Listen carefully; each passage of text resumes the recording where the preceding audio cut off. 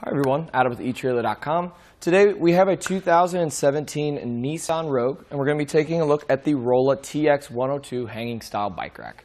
There is a 3 and 4 bike rack version available too on eTrailer.com. So if you need a little bit more bikes on your car besides two, go ahead and pick which one is going to work best. But this one in particular is going to be able to carry two bikes with three tie down points per bike. We're going to have two here up top and we're going to have a third down here. And this is going to be the anti-sway cradle. It does exactly what it's called. And that just helps that sway, limiting that bike-to-bike -bike contact that you get when you're going down the road. It's pretty easy to get this bike off the rack, so let's just go ahead and do it. These are soft and durable straps, so they're going to last for a long time and not damage your frame. It's going to be the same on this side over here, and also a rubber strap here. And once you get that done, you can just go ahead and take your bike off the rack.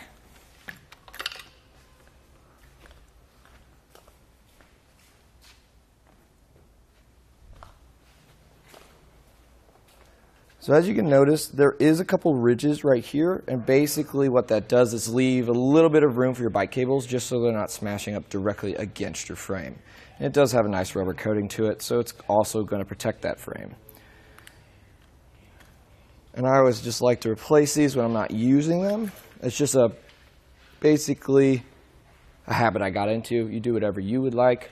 One other thing regarding safety, there is a built-in cable lock to keep your bikes nice and safe whenever you leave them on your car. And what it's going to do is just going to plop onto the end here. And as you can see, we will get a key with this kit. It's always nice buying a product knowing you don't have to really go back to the store or online and buy more products. This one comes with it and it stores in that center mast. One of the other things that makes this bike rack nice is we can tilt it away. We don't have to take it out of our hitch to be able to access the back. Pull this pin here. That's going to allow that tilting feature, which then as you can see, we don't have any contact with our rear hatch, so we can grab whatever we need. And whenever we're done, we just lift it back up into place and replace our pin.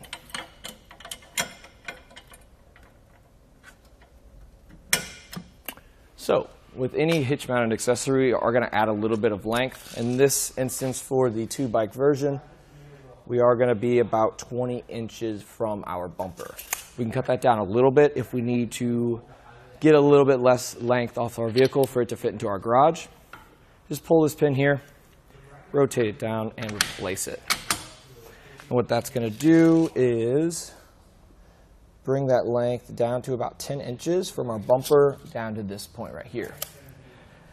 And looking at our shank, we do have a pretty unique design. We are going to be able to put this on two different size hitch receivers. We do have it on the 2 inch here, but by removing this bolt and the other bolt on the other side, this housing is going to rotate. And as you can see, there is a quarter or an inch and a quarter shank here. And as we rotate that, it is going to be able to fit both those sizes.